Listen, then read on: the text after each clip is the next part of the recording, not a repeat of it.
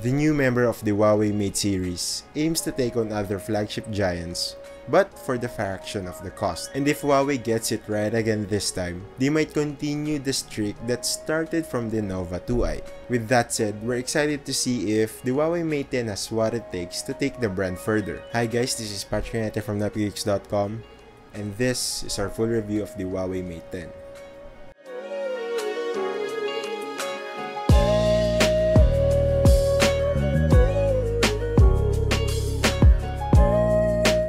I'll state this right away. The Huawei Mate 10 is one of the most gorgeous looking device around. It is a step up from last year's Mate 9 and a real contender that can go against the likes of the Galaxy Note 8 or even the LG V30. Huawei joins the bandwagon by sandwiching the Mate 10 with glass on front and back. The addition of what Huawei is calling the stripe highlights is also giving it a unique and signature look. And together with the mocha brown color finish that we have here, the Huawei Mate 10 is really a pleasure to look at.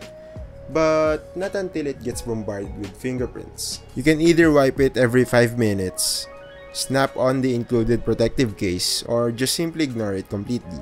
But the thing is, the device feels large in the hands. This is probably because it uses a 16x9 screen instead of 18x9 that most manufacturers are now implementing on their devices. Still, I gotta hand it to Huawei for making the side bezels almost non-existent. The top and bottom corners were just slim enough to house all the necessary hardware. At the bottom, we see a sheet of glass that protected in metal that acts as a home button slash fingerprint scanner. No more mechanical button, but unlike the iPhone, it is not pressure sensitive. It can do gesture controls by swiping or tapping it, but basically that's it.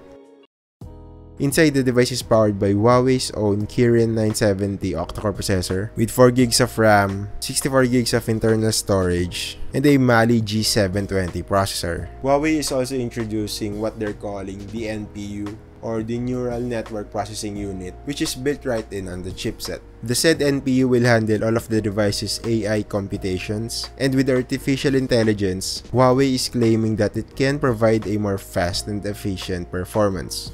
And during our testing, it appears that it really does. The interface was fast, flicking through social media apps was fast, games run at good frame rates, and to sum it up, the Kirin 970 is a reliable chipset. It also appears that the processor is kind to the battery. During a day of real-world usage, I was still left with around 25% of charge left with its 4000 mAh battery. The display resolution was also set to Full HD out of the box instead of Quad HD. Most users would barely notice the difference so Huawei opted to use the lower resolution so it consumes less battery. But during my testing, the difference on battery consumption on both Full HD and Quad HD is pretty insignificant. And speaking of the display, what we have here is a 5.9-inch IPS screen with a sharp resolution of 2560 by 1440, has 449 pixels per inch, and with HDR10 technology. It would have been nice to see an OLED panel on this thing, but I think some corners are needed to be cut to keep the pricing competitive. Still, the IPS panel on the Mate 10 looks impressive. The colors are great with good vibrancy, and the contrast is also top-notch for an IPS panel. And since we're using using a 1440p display, the sharpness is just on point. The device also has a stereo speaker setup as the earpiece doubles as a loudspeaker, providing good stereo separation when watching movies. And another thing to like about the Huawei Mate 10 is its interface. It is one of the first few devices to run Android 8.0 Oreo out of the box, with Huawei's own EMUI 8.0 on top. The interface is clean, the items on the settings menu are well grouped together, even the lock screen looks minimalistic. And lastly, you gotta love that Leica camera system. The Huawei Mate 10 boasts a 12 megapixel RGB camera sensor and another 20 megapixel monochrome camera. Both have a wide aperture of 1.6 with a 12 megapixel sensor getting an optical image stabilizer treatment. The monochrome effect looks pretty authentic. The contrast has just the right blend to bring character to the images. And since it's a 20 megapixel sensor, the sharpness is just incredible. On the other hand, the 12 megapixel sensor can also produce stunning images. The colors look vibrant, the contrast is impressive, and the dynamic range is one of the best that I have seen.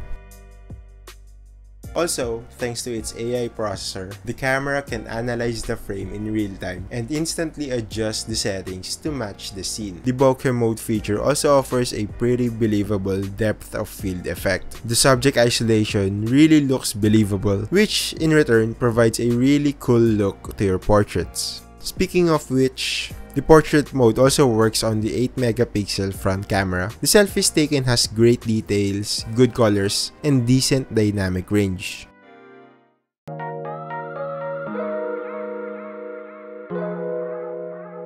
So, did the Huawei Mate 10 kept the momentum going for the company? Well, the answer is a definite yes.